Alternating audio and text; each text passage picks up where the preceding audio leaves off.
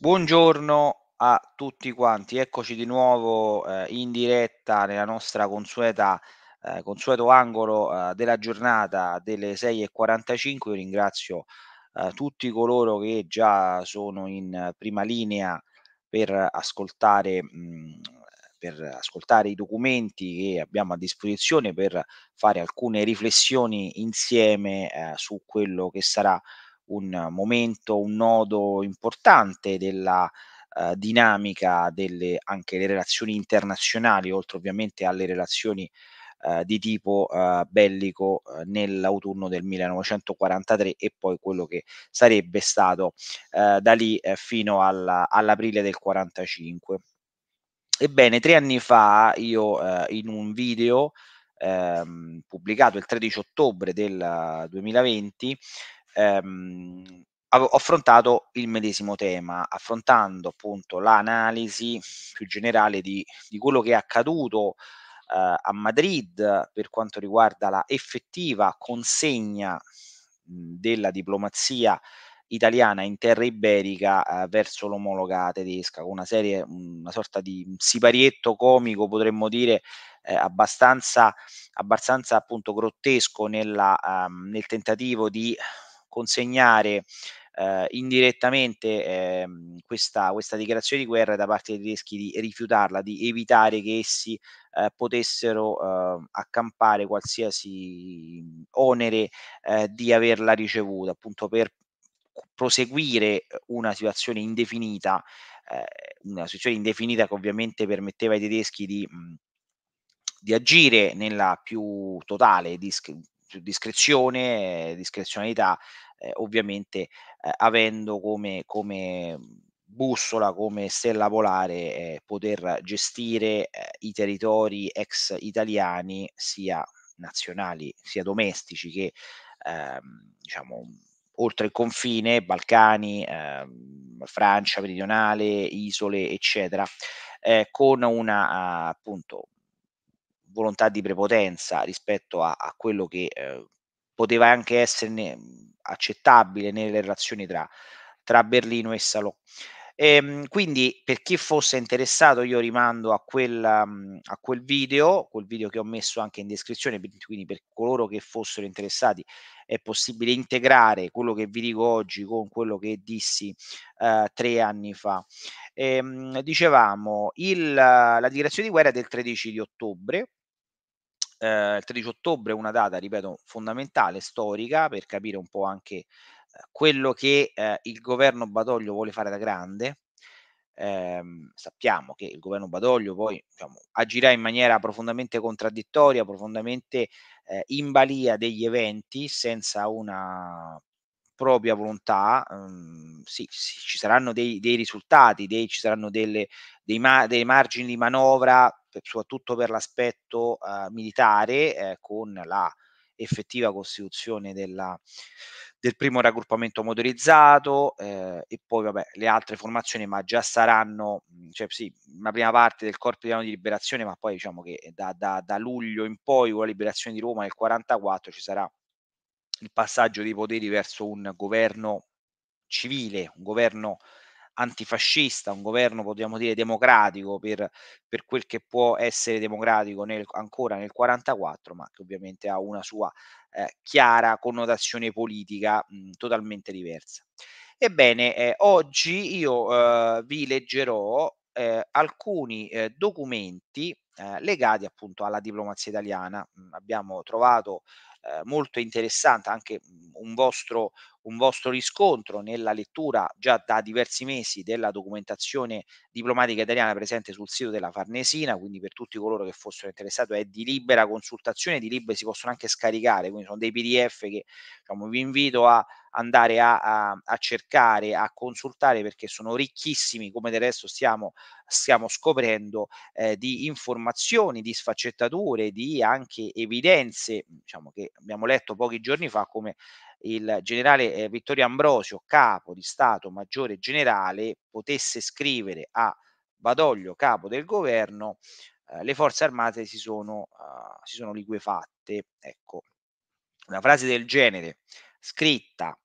a Brindisi, dal capo di Stato Maggiore Generale, che era il responsabile delle forze armate in Italia e all'estero, capite bene che eh, rappresenta qualcosa di assolutamente sconcertante se egli stesso nel eh, ottobre del 43 dice, scrive delle cose del genere. Quindi poi diciamo, se diciamo, ho difficoltà a um, oggi a 80 anni di distanza a poter, mhmm, poter condividere chi dice: "Beh, però alla fin dei conti le forze armate non si sono sbandate, hanno avuto una pronta reazione". Sì, hanno avuto una pronta reazione, ma non come forze armate, come reparti, come soldati, come, ehm, ufficiali alla testa di manipoli di uomini che in qualche modo hanno avuto, ehm l'onere, ehm, la volontà, il sacrificio di combattere, ma come sistema, come istituzione nella più grande, ehm, generalità diciamo non non non c'è stato. Mhmm, mi piace ricordare ieri sono stato ho partecipato da da mhmm, da come pubblico all'annuale convegno organizzato dallo Stato Maggiore della Difesa, ehm, organizzato presso la Scuola, ehm, Ufficiali dei Carabinieri e, ehm, un convegno che si terrà anche oggi. Oggi non potrò andare perché come probabilmente saprete, ehm, sono impegnato a Preganziol, ehm, in Veneto per una conferenza questa sera sul sull'8 settembre, quindi per chi fosse interessato, per chi avesse possibilità di arrivare a Preganziol in ehm, in poco tempo, stasera alle 20 e mhmm, alle 20:30, 20:45, diciamo ho messo il mhmm, la locandina nella mhmm, la la rimetterò nella mhmm, nella pagina delle informazioni, quindi diciamo però questo convegno molto interessante che si svolge anche oggi, che è stato, ehm, diciamo anticipato da presentato da una serie di interventi, una lectio magistralis di Gastone Breccia, quindi diciamo un un'occasione molto, molto interessante di riflessione sul 43. E c'è stato il generale Carmine Masiello, ehm, attualmente, ehm, sotto capo di Stato Maggiore della Difesa, che ha fatto un che ha detto una una fra tra le varie cose, ha detto una frase che mi sono appuntato perché mi ha uhm, mi ha veramente illuminato per certi aspetti, ha detto: "Qual è la differenza tra un'organizzazione e un'istituzione?" Ecco, la differenza tra un'organizzazione e un'istituzione sono i valori comuni, i valori condivisi. Quindi se ci sono dei valori condivisi è un'istituzione, se non ci sono valori ed è solo burocrazia, è una organizzazione. Ecco, questa questa definizione mi è piaciuta tantissimo e possiamo dire che per certi aspetti all'interno del marasma generale dell'8 settembre si è persa un po' da parte dello Stato di, del, di allora il concetto di istituzione per divenire organizzazione. Cioè quelli che, che lasciano Roma la mattina del 9 settembre hanno abbandonato, fuga, son hanno riparato, cioè ditelo come papà, usate il termine però materialmente che sono spostati da Roma verso qualche altro territorio, bene, quello non mi è sembrata più un'istituzione, mi è sembrata un'organizzazione di gente che lascia Roma e ci sono altri che che invece mantengono una parvenza, per quel che possono, di istituzione, combattono, spesso muoiono e altre volte vengono fatti prigionieri e vengono mandati in Germania. Fatto questo cappello, che secondo me era fondamentale per andare anche un po' a capire le dinamiche di questi giorni, iniziamo con la lettura di questi documenti che sono datati 11 ottobre e 12 ottobre e sono, sono an, diciamo, anticipano cronologicamente quello che avverrà appunto il 13 che sarà la effettiva eh, dichiarazione di guerra alla Germania. Ebbene, il capo del governo Badoglio all'ambasciatore a Madrid, Paolucci di Calboli, mhmm, l'11 ottobre del 43, vediamo cosa, cosa comunica Badoglio a, a, a Paolucci di Calboli, che sarà il referente, colui che materialmente consegnerà alla controparte tedesca a Madrid la dichiarazione di guerra.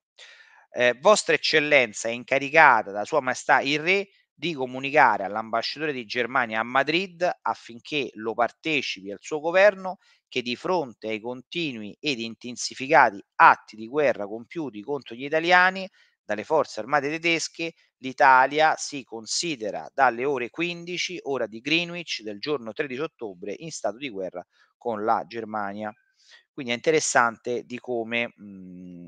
la uh, motivazione che Badoglio uh, allega alla dichiarazione di guerra è,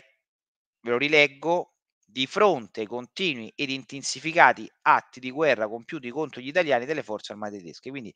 certifica che uno stato di guerra già ed esistente, è esistente da più di un mese, come sappiamo, quindi è meramente un elemento formale in cui eh, è una dichiarazione,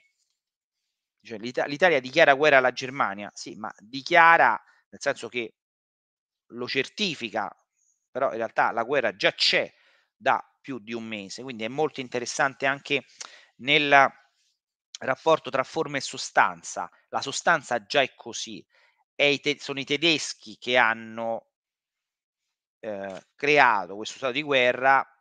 diciamo, se in maniera le motivazioni sono, sono amplissime, no? il tradimento, eccetera, quello che possiamo dire, però sta di fatto che fino a prova contraria sono i tedeschi che hanno iniziato a sparare contro gli italiani. E, mh, tra l'altro ho scoperto ieri nella, in una, in una la sessione di Maria Teresa Giusti, storica affermata con volumi molto interessanti, tra l'altro ultimamente è uscito un volume sulla, sui rapporti tra l'Italia e la, e la Russia nel periodo tra le due guerre, eh, un volume che spero di poter recensire anche con questo canale. Ho, ho invitato Maria Teresa Giusti a poter partecipare qui in diretta, spero che si possa realizzare, so che è molto impegnata, ma mh, sono, sono, fiducioso. Ebbene, ha dichiarato, eh, in base alle sue ricerche, che ehm, nell'estate del 43, quindi prima dell'8 settembre, vi fosse stata eh, nei Balcani e specificamente in Grecia una sorta di prova generale dell'operazione Asce, Axe, ehm, in cui i tedeschi iniziavano appunto a preparare l'attacco contro gli italiani. E questo, questa prova generale ha fatto anche un morto, un tenente dei carabinieri che si era opposto a questa esercitazione di cui lui non aveva contezza e quindi in qualche modo questa sua opposizione ha comportato che dei tedeschi aprissero il fuoco e uccidessero questo. Quindi ancora nell'agosto del 43, siamo ancora prima. Quindi capite bene come ehm, poi dopo è stato messo sotto silenzio questa morte, eccetera. Quindi capite bene come la uh, volontà, la, um,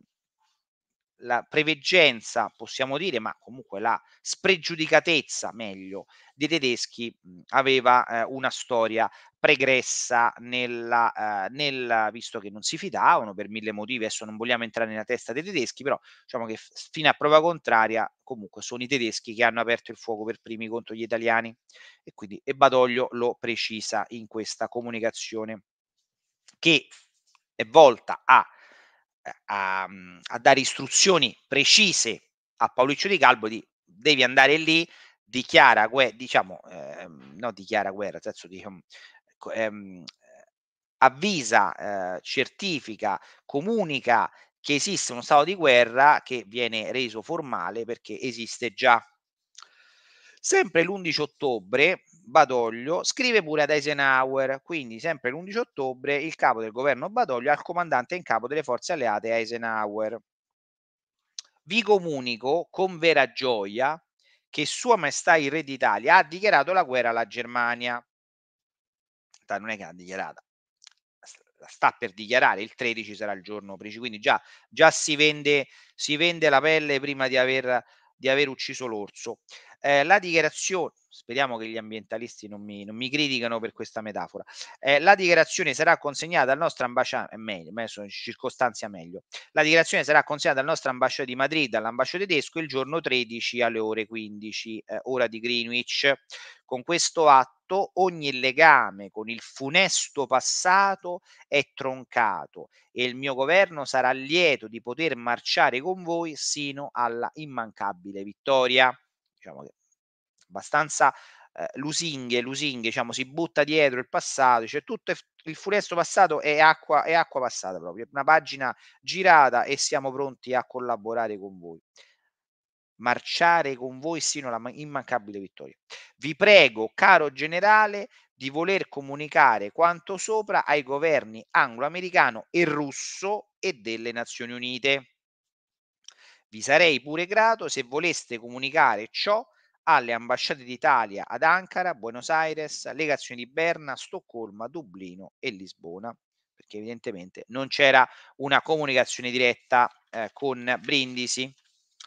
Sempre l'11 ottobre il vice capo della missione militare alleata Taylor al capo del governo Badoglio presenta un memorandum. Vediamo cosa Taylor eh, presenta a Badoglio. Il seguente messaggio del ministro Renzetti è trasmesso a Sua Eccellenza attraverso la legazione americana a Stoccolma. Questa è una risposta al vostro messaggio del 4 ottobre ricevuto attraverso la legazione americana. Punto. Punto primo. Al ricevimento delle prime istruzioni è stata offerta piena collaborazione di entrambi eh, entrambe le legazioni britanniche e americane a Stoccolma e ha stabilito personali contatti con i due ministri. Punto 2. Ho già avuto, ho già, eh, rice- avuto eh, ripetuti contatti con gli addetti militari di America e Gran Bretagna e addetto militare italiano. La piena collaborazione è stata offerta al colonnello Ruero di Cortanze che allo stesso tempo ha presentato dettagliate informazioni su questioni di interesse comune attuale. Punto terzo, l'atteggiamento del governo svedese è del tutto chiaro attraverso la seguente eh, la, la ehm, attraverso i, le, le, seguenti istruzioni al ministro svedese a Roma, riconoscere esclusivamente governi reali, fare tutto il possibile per entrare in contatto con quest'ultimo e raggiungere il presente posto a sedere. Ehm, resistere alle pressioni dei tedeschi per lasciare Roma all'arrivo delle forze alleate e cedere solo in caso di uso della forza. Punto quarto, la posizione della legazione italiana a Stoccolma è stata chiarita per la prima volta il 9 settembre comunicazione verbale da parte mia al governo svedese e una dichiarazione pubblica successivamente il 17 settembre successivamente trasmessa e pubblicata. Tutto il personale della legazione si è unito a questa, a questa dichiarazione ed è unanimamente desideroso di sostenere il regio il governo contro gli aggressori tedeschi e fascisti. Questo vale per tutti i, cons- i consolati italiani in Svezia, non c'era ness- nessuno in questi ultimi nella prima categoria. Punto quinto, la colonia italiana ad Oslo, per evitare persecuzioni e internamenti ha concordato che un messaggio firmato dal vice console onorario Brunelli sia inviato ai cosiddetti fascisti del governo a Berlino. Il messaggio di cui sopra non è stato aderito al capo della legazione e tutti gli altri ufficiali e, e, e sottoposti di legazione. Punto sesto, la legazione di Helsinki ha rilasciato una dichiarazione pubblica di lealtà al, governo, al reale governo. Inutili furono gli sforzi dei tedeschi per ottenere il riconoscimento di governo militare dal governo finlandese. Punto settimo, la legazione reale di Copenaghen, come precedentemente consigliato, ha informato tedeschi, i tedeschi che tutti i suoi membri intendono rimanere fedeli al governo reale. Punto 8. Finora non c'è stata alcuna dichiarazione per il fascismo da parte di membri di piccole dimensioni, colonia italiana residenti qui. Possi- punto 9. Possiamo cablare direttamente con rappresentanti reali a Berna, Lisbona, Madrid ed Ankara e in alcuni casi possono essere utilizzati codici regolari. È possibile anche tramite Londra per inviare posta aerea. Questo, questo passaggio, che potrebbe sembrare ehm, ininfluente nella comprensione di quello che stiamo dicendo, ehm, a proposito della lealtà della maggior parte dei diplomatici eh, italiani all'estero, anche in territori, diciamo che in qualche modo hanno eh, delle, eh, dei, degli elementi geografici delicati all'interno della eh, compagine eh, europea, pensiamo a Copenaghen, eh, la Danimarca è occupata dai tedeschi, e questo ci è utile perché? Perché domani, domani, domani è già pronto. Io domani sarò a, a, a Preganziolla, come sapete, quindi non potrò essere presente qui, ma io ho già preparato per voi perché non vi lascio da soli. Eh, ho preparato un video, sempre alle 6.45, su Anfuso, su Filippo Anfuso. Filippo Anfuso è stato braccio destro di Ciano, eh, un personaggio particolarmente interessante nell'analisi anche della politica diplomatica italiana eh, negli anni de, tra le due guerre e che il, l'8 settembre del 43 si trova a, a, a, a Budapest a fare l'ambasciatore, l'ambasciatore in terra d'Ungheria. Ebbene, Anfuso, eh, ma non vi anticipo troppo, sarà eh, molto scosso dalla, era già stato scosso dalla caduta di Mussolini, scosso dalla, eh, dalla, eh, dalla, dichiarazione di armistizio e, e, trova congeniale, trova naturale poter aderire alla Repubblica Sociale Italiana con tutto quello che sappiamo, diventerà ambasciatore a Berlino. E, ma domani approfondiremo questo tema. Quindi io già vi anticipo che domani si parlerà di Filippo Anfuso e di come, come ci sono i primi passi diplomatici tra Roma e Salò, così, così buttata là. Quindi per chi fosse interessato domani e andiamo pure un po' a, a, a rispondere a quelle vostre sollecitazioni che ci dicono sì, parliamo del Regno del Sud, però a Salò eh, e parleremo anche di Salò. Quindi domani abbiamo un altro elemento molto molto interessante su Anfuso e sul rapporto che la diplomazia italiana ha anche nei confronti della, di quella tedesca e va un po' a integrazione di quello che abbiamo letto eh, nei giorni scorsi a proposito di Mazzolini, quindi diciamo sono, stiamo affrontando veramente, secondo me, dei temi molto completi. Eh? Diciamo, stiamo andando a, a toccare vari, eh, vari, aspetti, varie sfaccettature di una situazione molto, molto, molto, molto complicata. Prima di leggervi gli ultimi due documenti eh, datati 12 ottobre, vorrei leggere alcuni commenti che avete voi qui. Allora,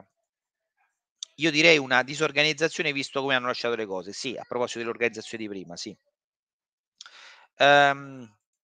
quindi l'impre- l'imprevidenza Stato Maggiore è ancora più colpevole che Cialtroni. Aiuto. Ruffiano Badoglio, eh, ahimè, Ruffiano Badoglio. Um, I tedeschi non erano sempliciotti, già nel 1943 si erano accorti che le sorti belliche stavano vol- vol- volgendo al peggio e noi italiani non abbiamo fama di essere politicamente seri. Eh sì, ehm, lo, lo, abbiamo letto, lo abbiamo letto varie volte, il peso del 14 non deponeva a nostro favore. Eh, mi ricordo il balletto fatto da D'Alema per te- partecipare alla guerra in Iraq. Eh. A proposito di dichiarazioni di guerra, non ho mai capito perché l'Italia e Germania hanno dichiarato guerra agli USA a fine 41 mentre i giapponesi mai alla Russia. Adesso, adesso ti rispondo eh, con voi si sta allargando, voleva essere più di un co-belligeranza che gran paracarro. Allora, rispondo a questa domanda in maniera molto sintetica, eh, ehm, eh, rinviando per chi fosse interessato, faccio un po' eh, marchetta eh, per me eh, al mio libro L'incredibile storia della seconda guerra mondiale. Nel libro L'incredibile storia della seconda guerra mondiale, che poi se volete avremo modo anche di ehm, di approfondire su alcuni aspetti. Io spiego questa, questa dinamica molto bene, molto bene, almeno secondo me, nel senso che mh, in, in, estrema sintesi, eh, eh, eh, il, il, Roberto Roma-Berlino-Tokio, il tripartito ha ovviamente interessi divergenti. Da una parte c'è la, eh, l'Italia e la Germania con un contesto europeo eh, diciamo, legato a un'Europa allargata, Mediterraneo, eccetera, con dei nemici specifici che tecnicamente escluderebbero gli Stati Uniti per una questione geostrategica fino a un certo punto e dall'altra parte abbiamo il, uh, il Giappone uh, che uh, è più votato verso il Sud Pacifico su una, un ambiente tra, tra, mare e terra tra la ehm, il subcontinente cinese, possiamo dire, e quello che è delle isole fino a, a, a lambire eh, i mari, i mari della, dell'Australia. Quindi questo concetto che è complementare ma di fatto separato, ehm, non implicava tecnicamente dei nemici comuni, a parte forse l'impero britannico nelle sue propagini più estreme. Ebbene, eh, si è giocata ehm, da parte di soprattutto di Roma, di, di, di Tokyo e di Berlino una, uh, un concetto che si potesse attendere l'ingresso degli Stati Uniti nel corso del 42 abbondante e quindi si, si pensava per la Germania, cioè noi as- eh, diamo una mazzata totale alla Russia nel 42, così quando entrerà in guerra il, gli Stati Uniti, noi ehm, no, noi avremo corda per poter ehm, combattere contro gli Stati Uniti. I giapponesi che f- giocavano al contrario, nel senso che pensavano che proprio perché vi era un interesse americano ehm, a, al di là dell'oceano eh, Atlantico, quindi nel preservare l'integrità dell'Europa, sovvenzionando già in parte la Gran Bretagna, eh, il, il, eh, gli Stati Uniti avrebbero pesato meno sul Pacifico. Quindi entrambi hanno sbagliato il calcolo, sia a Berlino che a Tokyo hanno ritenuto più, ehm, più lenta la mobilitazione americana e per, gli, per, i, per, i, per, i, tedeschi perché si potesse aspettare il 42 effettivamente per poter essere in uno stato formale di guerra, i giapponesi perché dicevano tanto gli, gli americani comunque si occuperanno di due fronti e non avranno la capacità di riuscire a determinare l'esito né da una parte né dall'altra. Detto questo, quindi quando nel 7 dicembre del 41 i giapponesi attaccano Pearl Harbor, ma attaccano pure il, eh, il sud-est asiatico, sono convinti che una mazzata iniziale nei confronti degli Stati Uniti sarà tesa a ritardare profondamente, ad avere un impegno effettivo, ripeto, frazionato tra il fronte atlantico e il fronte del Pacifico con, una, con guadagnare tempo, perché il, eh, il tripartito ha bisogno di tempo, può vincere la guerra solo per il fattore tempo, nel senso se ha tempo di evitare nel giro di due anni un'invasione, ha vinto la guerra, perché è convinto di poter chiudere le partite, tutte le partite che ha in atto. Hanno fatto male i calcoli perché? Perché gli Stati Uniti sono una potenza industriale, una potenza economica, una potenza finanziaria, una potenza umana enorme che ha comunque possi- avuto la capacità di reazione, ha coagulato la società americana e di conseguenza ha saputo reagire in maniera efficace sia sul fronte del Pacifico nel corso del 42, ma anche per, per, la preparazione di quello che sarebbe stato alla fine del 42 l'impegno in Europa o comunque in Nord Africa.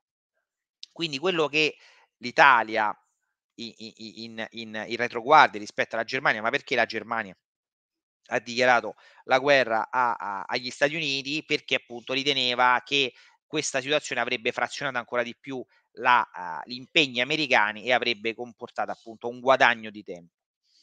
ha sbagliato sostanzialmente. Dall'altra parte, perché invece eh, gli Stati, il Giappone non ha dichiarato la Russia? Eh, perché sostanzialmente non aveva l'interesse, i tedeschi non gliel'hanno chiesto, perché i tedeschi avevano paura che un intervento giapponese nei confronti della Russia avrebbe comportato dover dividere il bottino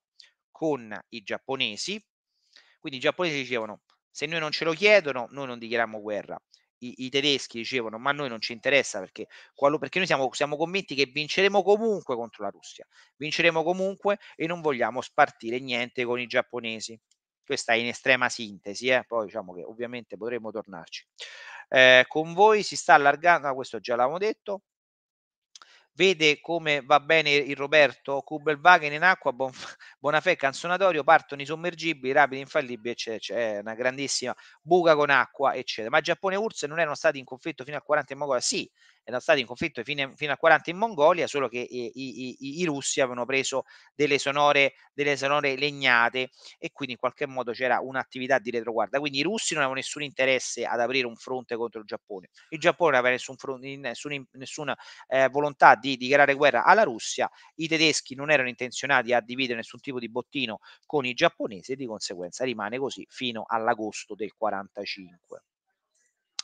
Finiamo così con, il, con due altri messaggi. Il capo del governo Badoglio al ministro a Berna Magistrati, 12 ottobre, autorizzo, autorizzo Vostra Eccellenza di richiedere al governo svizzero di assumere protezioni italiane in Francia, in Germania e altri paesi occupati dai tedeschi. Questo è, un elemento importante che è l'omologo di quello che, di cui abbiamo parlato con Isabella Insolvibile qualche giorno fa a proposito dei prigionieri, come eh, la, um, la, il governo eh, di protettore, un governo straniero, neutro, eh, indipendente, eh, possa proteggere eh, i prigionieri di uno Stato terzo in un altro paese.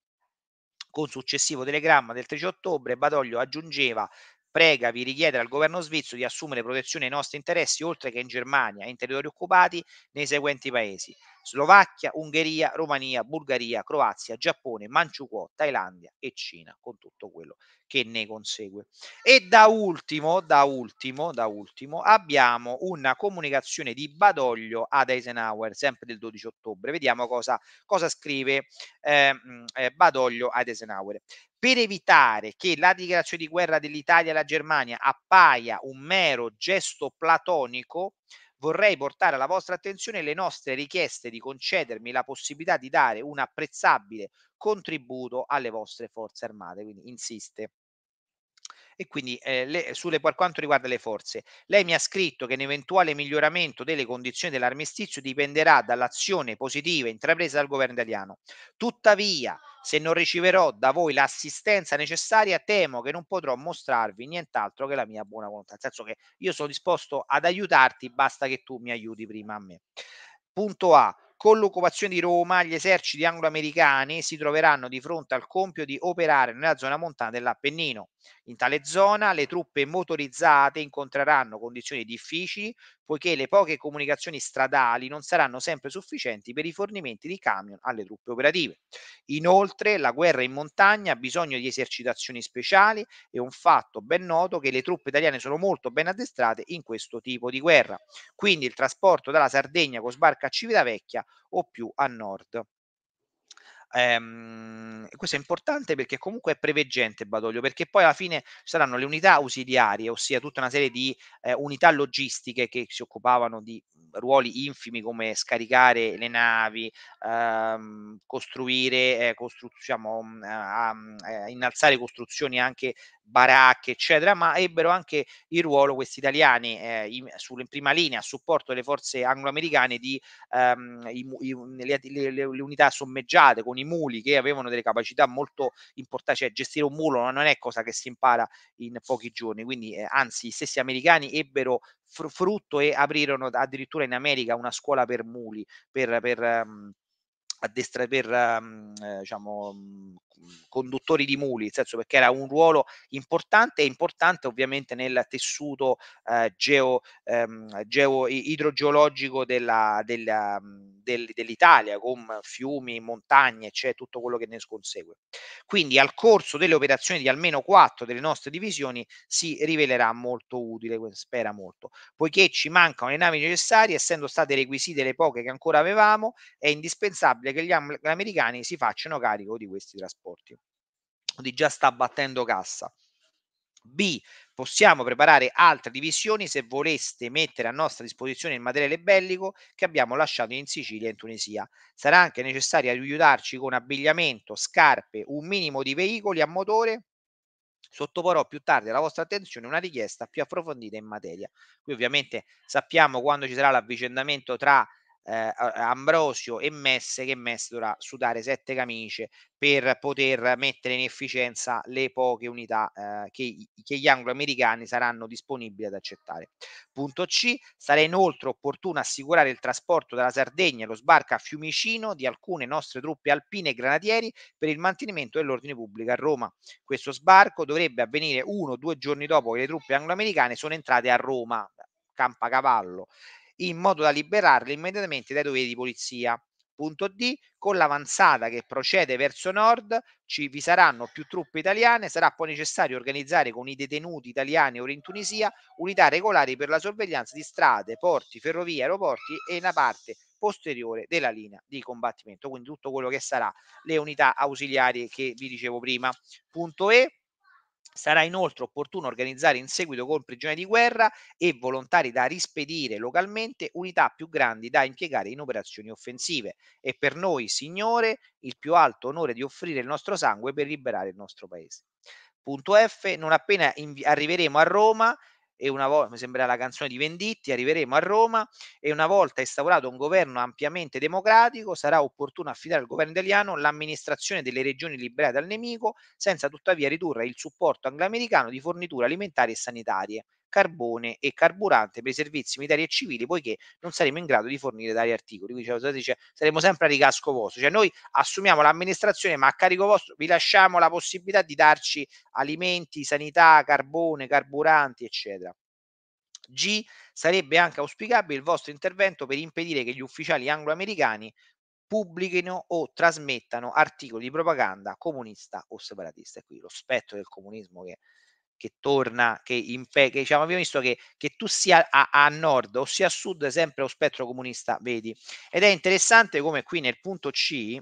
eh, abbia posto la necessità, questo, ehm, lo sbarco delle truppe italiane, questo sbarco dovrebbe avvenire uno o due giorni dopo che le truppe angloamericane sono entrate a Roma, in modo da liberarle immediatamente da doveri di polizia, che io leggo anche come ordine pubblico, nel senso che ci pensiamo noi all'ordine pubblico. Quindi queste sono, signore, le linee del programma che lo, che, il, che lo Stato Maggiore Generale mi ha sottoposto e che ho approvato. Vorrei chiederle gentilmente di comunicarmi le sue decisioni in materia in modo che io possa prendere le misure necessarie di conseguenza. Si attendono seguiti su queste richieste abbastanza, abbastanza circostanziate di Badoglio che promette, promette un contributo, ma promette un contributo a condizione che gli angloamericani forniscano tutto praticamente alle, alle rinascenti eh, unità italiane. Eh, però le truppe russe distolte dal fronte della Mongolia hanno avuto un grande peso nella difesa di Mosca, ma questo senza dubbio, questo senza dubbio. Pensiamo solo a eh, personaggi come Zukov, Zukov che aveva avuto eh, l'esperienza in Mongolia e poi viene mandato eh, sul, con ottimi risultati. Quindi in qualche modo vediamo come eh, è, un, è, un vanta- è, stato un vantaggio anche per la Russia il fatto di aver avuto eh, un fronte eh, orientale eh, abbastanza tranquillo, anche se poi diciamo, vi sul fronte lì della Mongolia, della, della, della, Siberia orientale c'è sempre stato un conflitto a bassa intensità, non ci fu mai l'assenza dei combattimenti, ci furono sempre delle scaramucce, lì le scaramucce ci stanno sempre, eh, adesso lo vediamo con la, la Corea eh, del Nord, no?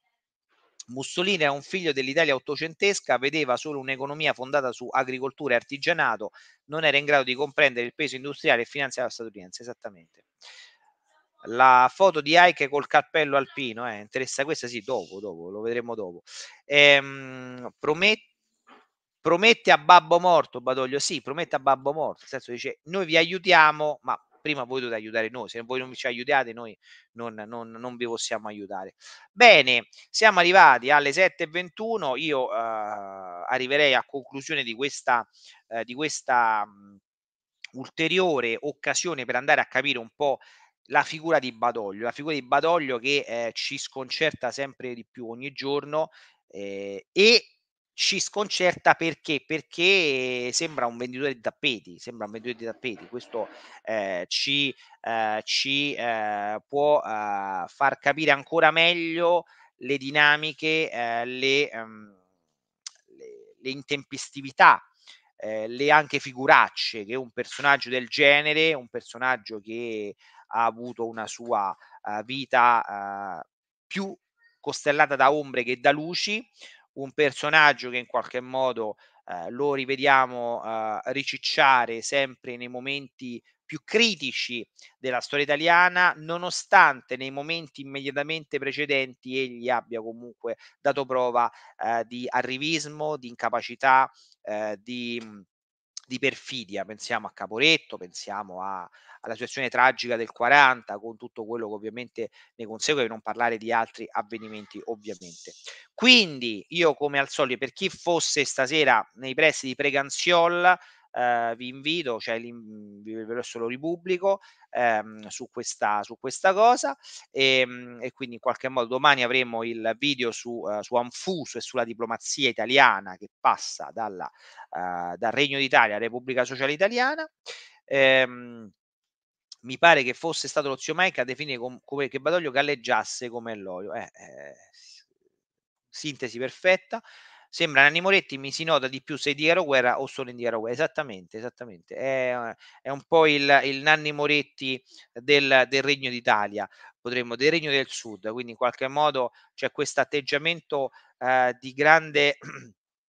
di grande incertezza, ma purtroppo è un'incertezza che sembra furbizia, cioè ostentata come furbizia, in realtà non è furbizia, è debolezza mascherata da furbizia, ma che purtroppo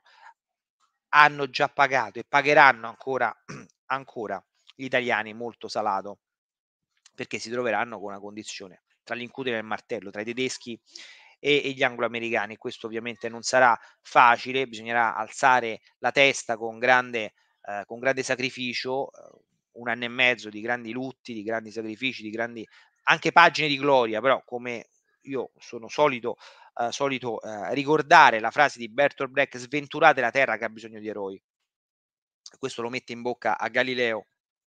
nella vita di Galileo, quindi in qualche modo sì, tutto bello, tutto eroismo, valor militare, eh, grandi eh, eroi eh, che possono riempire pagine e pagine e possono essere scolpiti in delle lapidi eh, di marmo, ma sono degli eroi morti per la maggior parte, quindi in qualche modo diciamo, dobbiamo anche un po' riflettere sulla, ehm, sulla mh, mhmm, una, certa, ehm, una certa ripetitività dei partiti politici di mettere sul piatto eh, delle auspicate vittorie. No? Badoglio parla di, che parla, dice... Ehm, L'immancabile vittoria, l'immancabile vittoria sì, ma l'immancabile vittoria ha tut ha tutto un pre si paga tutto, nie gratis niente, quindi in qualche modo qualcuno deve morire e soprattutto se muore gente che non è non è della nostra famiglia, quindi in qualche modo basta che muore qualcun altro, tutto a posto. Mussolini per carità ha perso un figlio, ehm, Bruno, ehm, però quando nel '40 dice: "Mi servono poche migliaia di morti per sedermi al tavolo della pace", lo ste stesso altri, quindi non non è il primo né l'ultimo lo vediamo anche in tempi abbastanza recenti. Quindi questo ovviamente ci fa riflettere su eh, concetto di guerra, il concetto e anche il rapporto, come dicevamo, tra organizzazione ed istituzione, no? come una, una contrapposizione di grande, di grande, di grande rilevanza. Ehm, se, posso, se penso come viene descritto Badoglio da Bertoldi nel suo libro, eh, diciamo che Badoglio credo che eh, a parte la nipote, Ehm, che nel suo nella sua biografia la lo dipinge come un grande eroe, come un uomo, uno statista, ehm, di peso, di grido, eccetera, tendenzialmente Badoglio viene viene definito male da tutti, da tutti, da tutti quanti. Detto questo, come al solito io vi invito a mettere mi piace, iscrivetevi al canale, fate iscrivere, ecco adesso in poi dirò fate iscrivere anche qualcuno al canale, come impegno fate iscrivere qualcuno così il canale può crescere eh, io spero che possiamo arrivare a 5.000 iscritti entro Natale, è un, è un, un auspicio eh, fattibile secondo me, ma se facciamo anche, lo facciamo prima è anche meglio, così da poter anche avere un po' più di margine di, di manovra. Poi ho dei progetti per il 2024, poi non ve li dico subito, ma diciamo che c'è tanto su cui lavorare eh, su questo canale che mi sta dando tante soddisfazioni, ma sicuramente nel 2024 me ne darà ancora di più, quindi vi, vi, vi confermo la mia massima eh, disponibilità nel poter sempre trovare degli argomenti nuovi, degli argomenti o almeno argomenti vecchi trattati in modo diverso per andare a, a trovare altre informazioni, perché poi appunto eh, la, le fonti sono, sono, tantissime e avremo modo di ehm, approcciarci a tante altre occasioni. Quindi mi raccomando, mi piace, iscrivetevi, fate iscrivere al canale e alla prossima. Domani c'è Filippo Anfuso e la diplomazia dal Regno d'Italia alla Repubblica Sociale Italiana. Ciao!